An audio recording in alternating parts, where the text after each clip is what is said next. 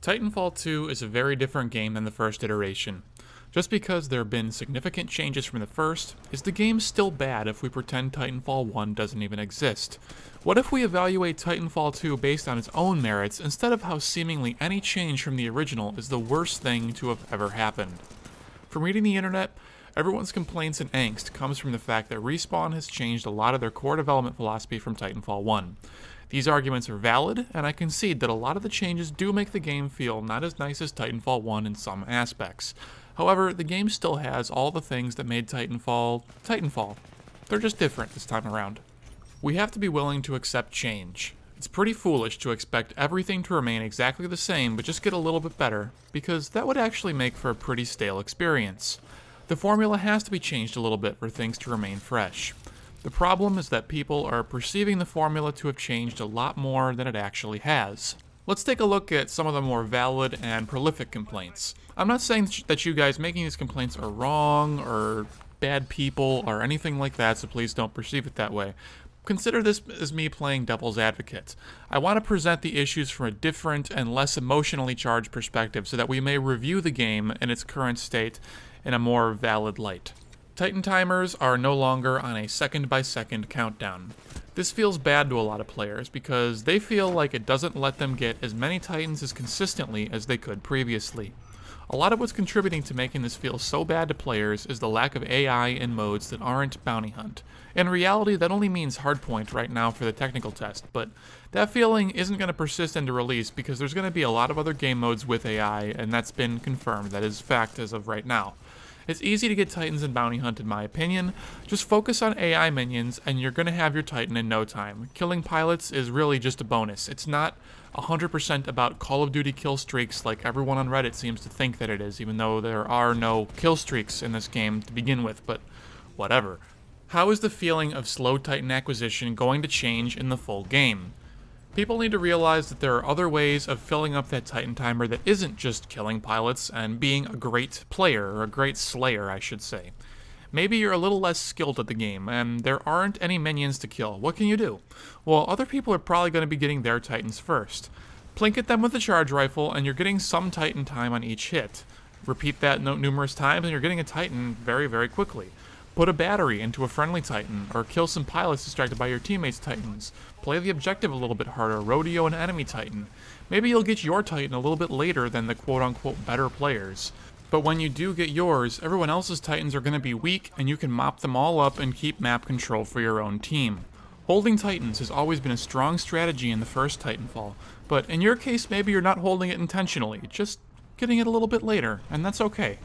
The argument here, and the argument with a lot of the other points I'll be bringing up, is that players simply need more time and exposure to the game.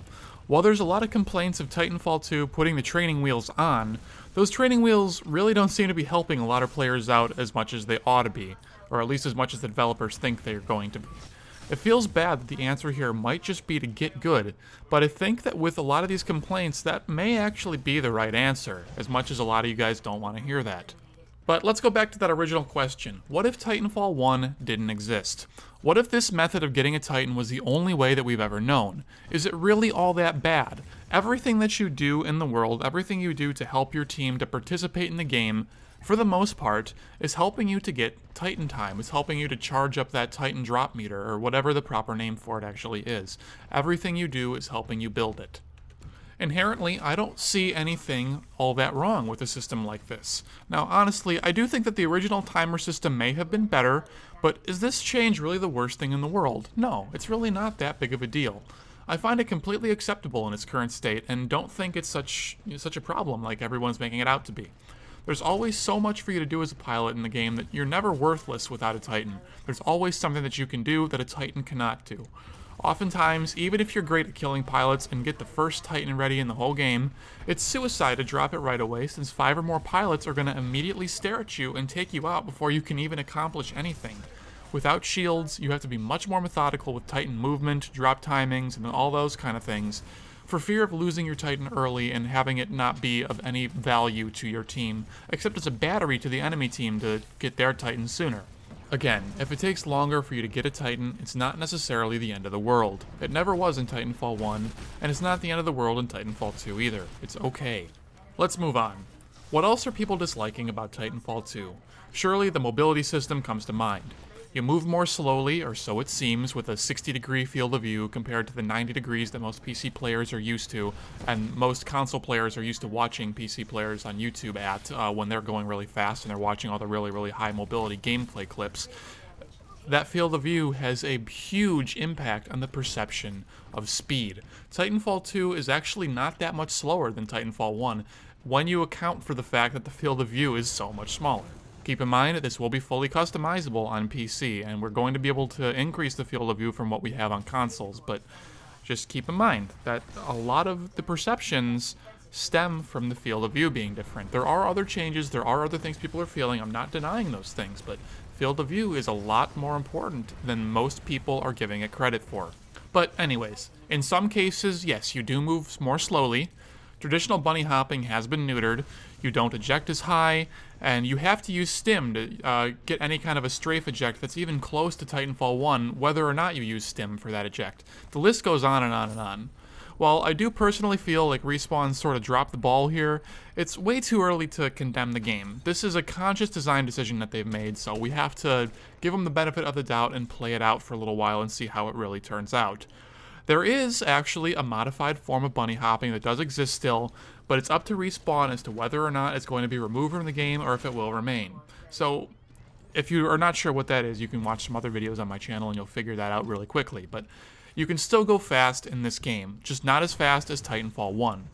Why does that inherently make Titanfall 2 bad? It's like complaining about ADS time being slowed down by a tenth of a second and calling the game unplayable and crappy feeling. Let's put it this way. If Titanfall 1 didn't exist, Titanfall 2's movement system would be a revolutionary for COD-style aim-down sights shooters. It would be such a breath of fresh air, and a really cool mix between COD and fast shooters like Quake, as loose as the comparison to Quake might actually be. You would feel free to move where you want and how you want. You could go fast if you want, or you could play slower and more tactically if you want. The system that we have in Titanfall 2 is not by any means bad, slow, heavy, or unfun. It's just that it's not as fast as Titanfall 1's, and that annoys a lot of people. That's literally the entire argument. It's not as fast as Titanfall 1, therefore it's trash. I'm not convinced that that's very fair. Now, don't get me wrong, I'm complaining about the low speeds that I'm perceiving anyways because of low field of view and other things, more than a lot of other people that I've seen, but you've got to recognize uh, where that angst is coming from, and it's misplaced. The disappointment's gonna fade, New mobility options are going to be discovered. Slide hopping, or rather G slides if you've played Black Ops 3, have been discovered. Um, hell, Respawn might even help us out by making an attaining speed a little bit easier. Again, this is a thing where we're going to have to come back and reevaluate once the final game is released and any changes to the mobility system are made. I think we're on a much better path than people realize and give Respawn credit for. We're not in the dark times that a lot of people claim that we're in. Finally, I'll bring up one last topic that everyone's raving about, and that's the time to kill. In my experimentation, I don't believe the time to kill is the problem. It's actually, for the most part, completely fine as it is, with the exception of amped weapons being ridiculous. It's not even that different from Titanfall 1. The real problem with time to kill, in my opinion, actually stems from a combination of the game looking and feeling slower in a lot of ways, players not being as good and not being as mobile as they were before because they're not used to it, and aim assist on controllers not being adjusted to match the overall slower movement. This might seem a little weird of an argument to people, so let me explain, just hear me out. Aim assist is intended to help a player to keep their reticule on target. Joysticks are inherently inaccurate. They've got some slop that's not really possible to shake. Aim assist should only be strong enough to assist a player in tracking the fastest moving, hardest to hit target in the game. That's it. It should not do any more than that. In Titanfall 1, strong aim assist was needed because pilot speeds reach ridiculous levels very quickly, despite the fact that their movement was very linear while going fast. They weren't, you know, like bending in the air. They were going in relatively straight lines with easy to predict curves uh, here and there as they're strafing. Even if they're moving at a high velocity perpendicular to you in Titanfall 1, they weren't hard to track. You just had to move your aim quickly. But, you know, tracking them up and down was not a big deal. In Titanfall 2, the movement speed has been dropped pretty significantly, or so it seems to a lot of players. If that's actually true kind of remains to be seen, but that's what everyone's perception is right now. However, aim assist benefits have not been mitigated to compensate for this lack in speed.